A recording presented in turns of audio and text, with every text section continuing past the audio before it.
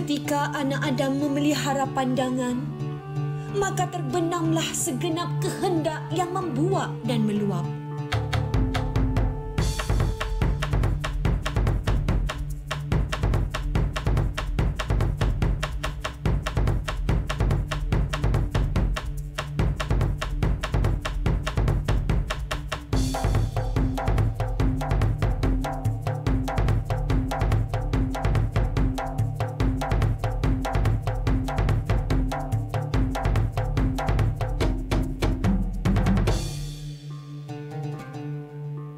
Ketika insan mengawal deria mendengar, maka tersisihlah kabar jijik dan menjengkelkan.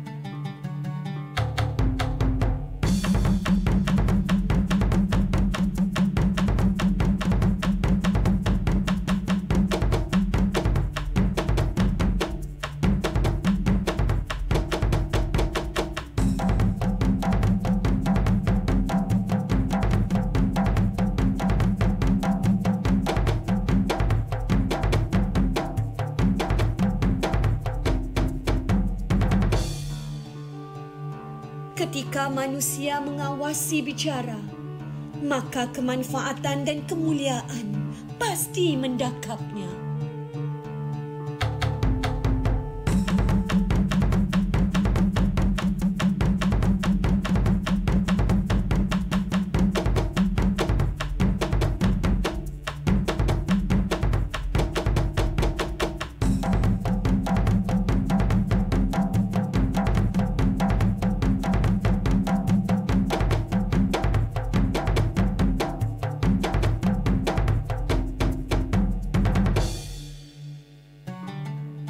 Ketika seseorang mengasuh gerak gelangan tangannya, maka terlihat kejayaannya dari nafsu rakus yang menjeratnya.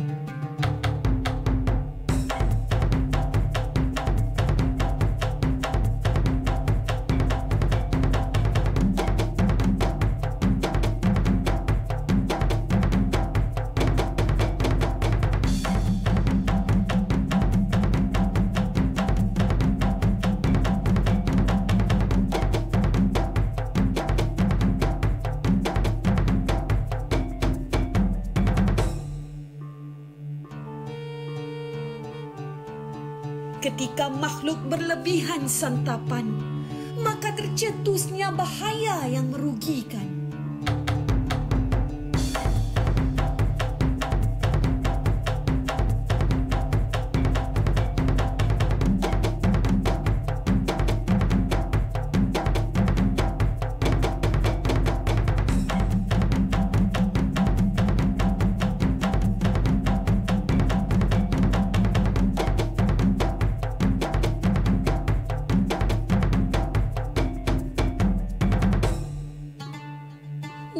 Wahai hamba yang hina, didik hati nuranimu agar bisa mengawal pertimbangan dirimu.